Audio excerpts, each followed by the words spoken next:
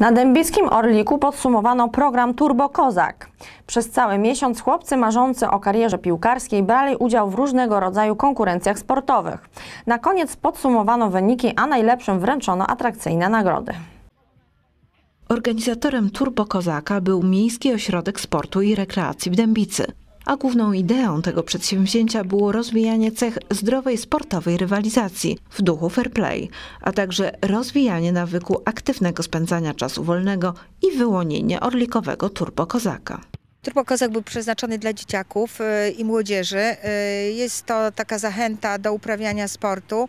Y, Bardzo ciekawa, atrakcyjna zabawa, można powiedzieć, która też jest mocno reklamowana w telewizji. Dzieciom się i młodzieży się to podoba bardzo. Chcemy zaktywizować dzieci, chcemy, żeby one w wakacje jednak oprócz komputera, telefonów, smartfonów, żeby jednak zechciały po prostu poruszać się. Przez cały sierpień, w każdy poniedziałek i piątek na boisku Orlik instruktorzy prowadzili dla uczestników programu Turbo Kozak konkurencje sportowe, wymagające dużych umiejętności piłkarskich. Konkurencji było 10. e, Były to sam na sam z bramkarzem, rzuty karne, karny w ciemno, czyli oczy miał zawiązany chłopiec i musiał strzelać na bramkę, też było wesoło.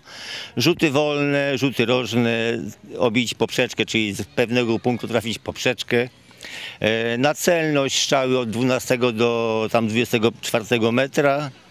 E, Ze środka boiska uderzenie na bramkę bez odbicia i kapkowanie tak słynne i na końcu karuzela, która e, dość mieszała w głowie z błędnikiem niektórych zawodników.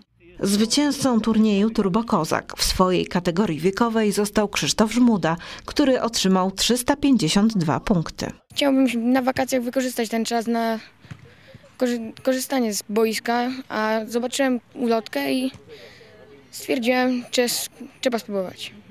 Y, Miałeś najlepszy wynik, tak? Tak, Y, Cieszysz się? tak, bardzo. Y, Jakie masz plany? Chciałbyś być piłkarzem? Tak, Który piłkarz jest dla ciebie wzorem do naśladowania? Ronaldo, A z polskich?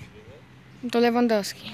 Zarówno Krzysztof, jak i zwycięzcy w pozostałych kategoriach wiekowych otrzymali piłki, pozostali uczestnicy kubki, smycze i inne gadżety, które ufundował Miejski Ośrodek Sportu i Rekreacji w Dębicy.